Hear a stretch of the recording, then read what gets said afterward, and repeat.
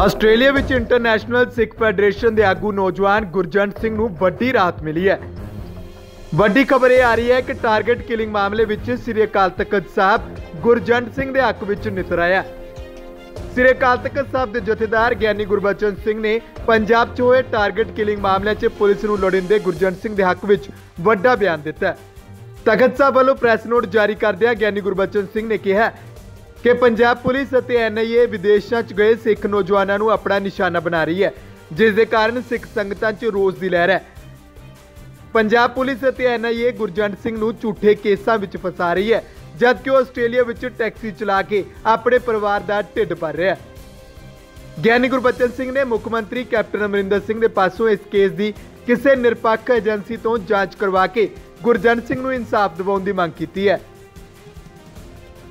ਜਥੇਦਾਰ ਗੁਰਬਚਨ ਸਿੰਘ ਨੇ ਕਿਹਾ ਕਿ ਜਿਸ ਤਰ੍ਹਾਂ ਹੁਣ ਗੁਰਜੰਟ ਸਿੰਘ ਨੂੰ ਝੂਠੇ ਕੇਸਾਂ 'ਚ ਫਸਾਇਆ ਜਾ ਰਿਹਾ ਹੈ, ਇਸੇ ਤਰ੍ਹਾਂ ਪਹਿਲਾਂ ਬ੍ਰਿਟਿਸ਼ ਨਾਗਰਿਕ ਜਗਤਾਰ ਸਿੰਘ ਜੱਗੀ ਜੋਲ ਦੇ ਸਣੇ ਕਈ ਨੌਜਵਾਨਾਂ ਨੂੰ ਝੂਠੇ ਕੇਸਾਂ 'ਚ ਫਸਾਇਆ ਜਾ ਚੁੱਕਿਆ ਹੈ।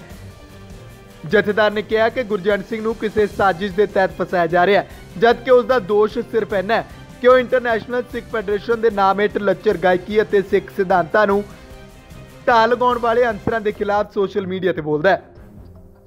ਦੱਸ ਦਈਏ ਕਿ ਗੁਰਜੰਟ ਸਿੰਘ ਲੁਧਿਆਣਾ ਦੇ ਪਿੰਡ ਬੈਲੋਲਪੁਰ ਦਾ ਰਹਿਣ ਵਾਲਾ ਹੈ ਅਤੇ ਮੌਜੂਦਾ ਸਮੇਂ ਆਸਟ੍ਰੇਲੀਆ ਵਸਦਾ ਹੈ। ਮਾਮਲਾ 10 ਮਈ 2018 ਨੂੰ ਸ਼ੁਰੂ ਹੋਇਆ। ਜਦੋਂ ਫਰੀਦਕੋਟ ਪੁਲਿਸ ਨੇ ਦੋ ਖਾਲਿਸਤਾਨੀਆਂ ਨੂੰ ਗ੍ਰਿਫਤਾਰ ਕਰਨ ਦਾ ਦਾਅਵਾ ਕੀਤਾ ਸੀ।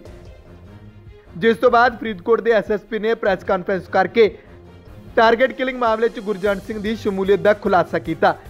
ਉਹਨਾਂ ਨਾਲ ਹੀ ਕਿਹਾ ਕਿ ਗੁਰਜੰਟ ਸਿੰਘ ਵੱਲੋਂ ਖਾਲਿਸਤਾਨ ਜ਼ਿੰਦਾਬਾਦ ਨਾਮ ਦਾ ਗਰੁੱਪ ਚਲਾਇਆ ਜਾ ਰਿਹਾ ਹੈ।